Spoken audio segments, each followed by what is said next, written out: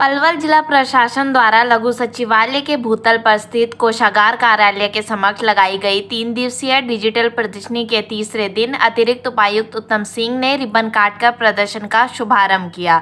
अतिरिक्त उपायुक्त ने प्रदर्शनी का अवलोकन भी किया। इस अवसर पर उपमंडल अधिकारी वैशाली सिंह, जिला सूचना जनसंपर्क अधिकारी विजेंद्र कुमार भी मौजूद रहे। देखिए खास रिपोर्ट हमारे पत्रकार दीपक शर्मा के साथ। जैसा आप सभी को ज्ञात है कि हमने कुछ महीने पहले पचहत्तरवा जो साल है, आज़ादी का, वो पूरा किया है और पूरे देश भर में मनाया जा रहा है कि पचहत्तर साल हो गए हैं।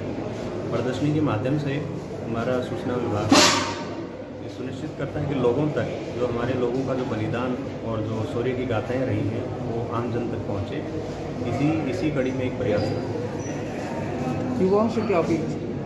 युवाओं से ये अपील है कि जो हमारे क्रांतिकारी लोग रहे हैं, जिन्होंने आज़ादी के इस आंदोलन में सहयोग दिया है, उनकी जीवनी से सीखें और अपने आचार विचार में उनके कार्यों को लाएँ।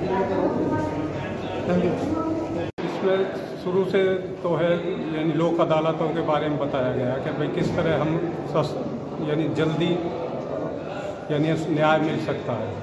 उसके बाद दूसरे हरियाणा की प्रगति के बारे में बताया। सन छियासठ में क्या था? सन बहत्तर, चौहत्तर में क्या था और 2021 में क्या है।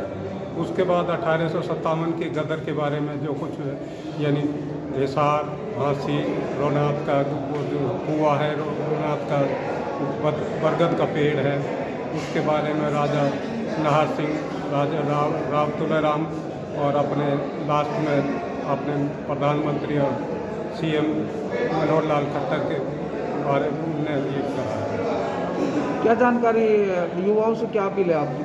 हमारी जो युवाओं से यही अपील है कि इसको देखें और इसके बारे में समझें और इसके उस पर चलें पद पर पदों पर चलें जिससे आगे की कार्रवाई लोग ढंग से समझ सकें और अपने प्रदेश को अग्रसर करें।